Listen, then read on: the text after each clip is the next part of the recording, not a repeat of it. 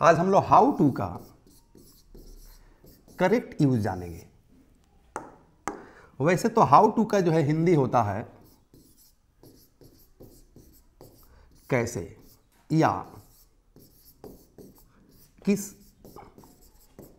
प्रकार, किस तरीके से ईटीसी ओके अगर हिंदी सेंटेंस हम लोग लिख लें तो ज़्यादा कंसेप्ट क्लियर हो जाएगा।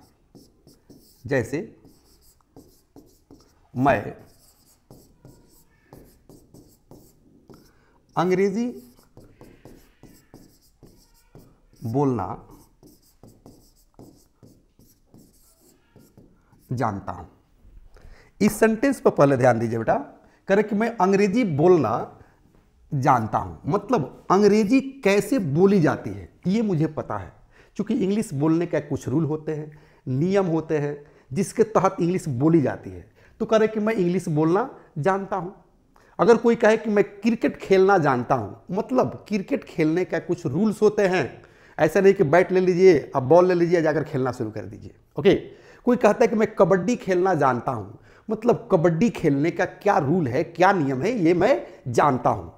कोई अगर कहता है, मैं चाय बनाना जानता हूँ मतलब चाय बनाने का क्या नियम है, कितना शक्कर डालेंगे?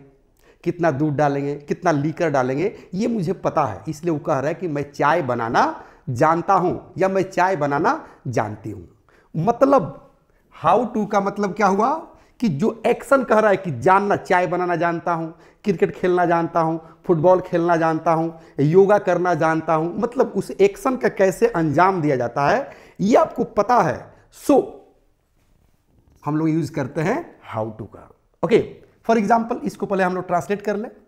एक जगह और ध्यान देने बेटा, यहाँ ती है लगा है। मतलब सिंपल प्रेजेंट टेंस है। तो बनाइए सिंपल प्रेजेंट टेंस पर। कहेंगे I know how to speak English चूँकि हम लोग ग्रामर भी पढ़ रहे हैं और स्पोकन भी।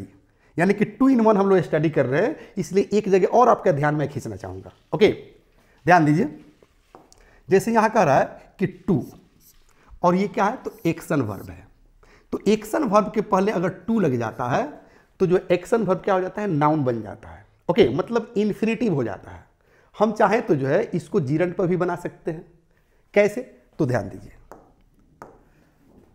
कहेंगे आई नो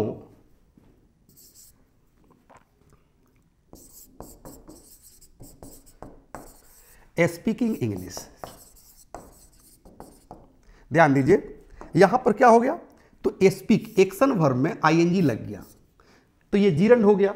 तो यहाँ पर से क्या हो गया? हाउ टू जो है, हट जाएगा। ओके मतलब ये दूसरा रूल हो गया कि आप जो है जीरंड के तहत भी बना सकते हैं और इन्फिनेटिव के तहत भी बना सकते हैं। This is the rule of the grammar okay मतलब एक जगह और ध्यान देना है। कहाँ ध्यान देना है?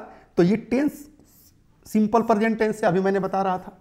और सब्जेक्ट क्या था? आई था।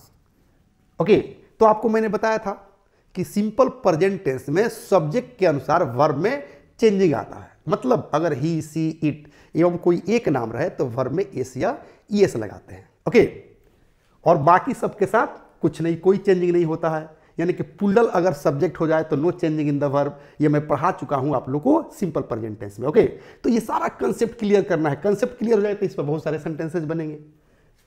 ध्यान दीजिए, जैसे, अगर कहा जाए कि वह सेम सेंटेंस में लिखूँगा ताकि कंसेप्ट क्लियर हो। वह अंग्रेज़ी बोलना,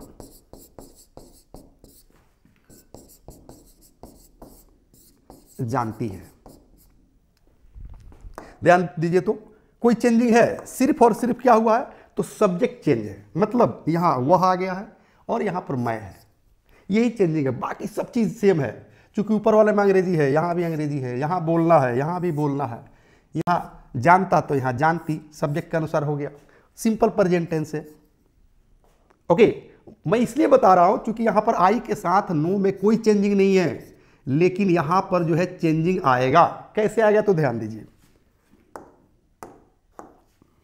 और यहाँ हम आप सी कर देंगे।